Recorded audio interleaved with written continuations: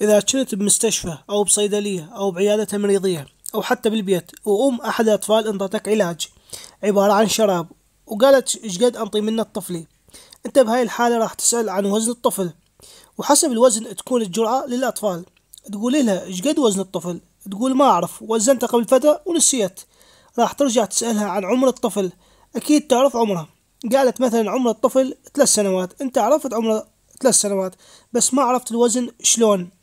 راح تعرف الجرعة إيش راح تسوي؟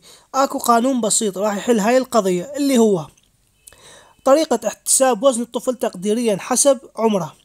العمر بالأشهر أو العمر بالسنوات. إذا العمر بالأشهر عمر الطفل بالأشهر زائد تسعة تقسيم اثنين. عمر الطفل بالأشهر زائد تسعة تقسيم اثنين. ثانيا إذا العمر بالسنوات إذا عمر الطفل بالسنوات شو نسوي؟